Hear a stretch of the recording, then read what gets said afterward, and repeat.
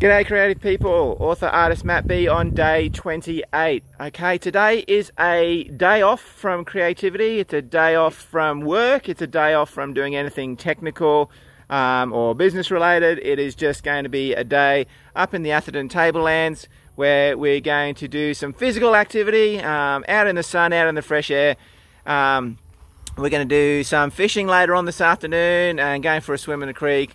But today the priority is going to be helping my mate build a bird aviary with my kids. So we're out and about and uh, we're getting some posts dug into the ground. We're going to do some concreting. Uh, I think you can see it over here. There it is in the background. Our work area. So we're going to be doing some real creativity stuff in the yard instead of uh, in the technical space it's really good to be able to get out of your space sometimes, get away from technology. I mean, like, I've got the phone at the moment, which is technology, but apart from that, we are a technology free zone. The reception here is really bad, so it might take me ages to be able to post this video up, like I did yesterday. Might be a really late post.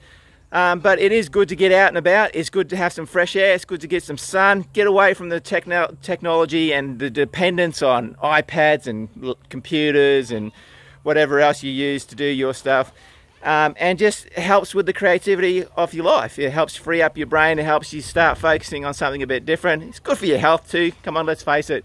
It's uh, really enjoyable to be out and about.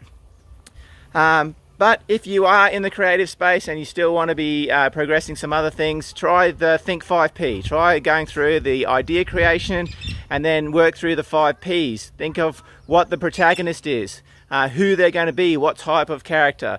Um, are they going to be human? Are they going to be animal? Are they going to be alien? And then work on the place. When and where is your story going to be set? Um, it can be set on Earth, it can be set on a distant planet, it can be set in current time, in the past, distant future, who knows. And then think about your problem. What is the problem that your main character or your protagonist is trying to overcome? Make the problem challenging enough so that they have to work at it and fail a few times before actually making the solution or overcoming the problem. And then once they get to that, we work on purpose. What is the purpose that's driving your character? Why do they get out of bed? Why do they even care about solving the problem or defeating the evil forces?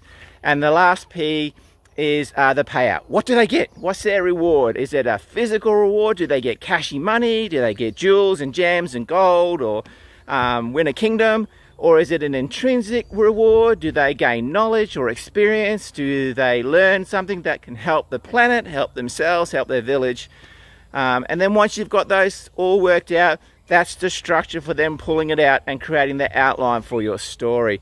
And once you've got the outline of your story, the fun really begins. That's when we start filling in all the details and start getting our first draft. We haven't done that for ours yet, um, but we were getting, we're going to be getting there.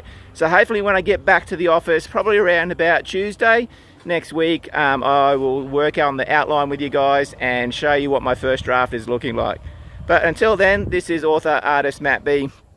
Out in the bush, um, having a fat time, really enjoying myself. And uh, yeah, thanks for all the support. Thanks for sharing. And uh, again, if you're watching this on YouTube, make sure you hit the subscribe button. Thanks, guys. See you tomorrow.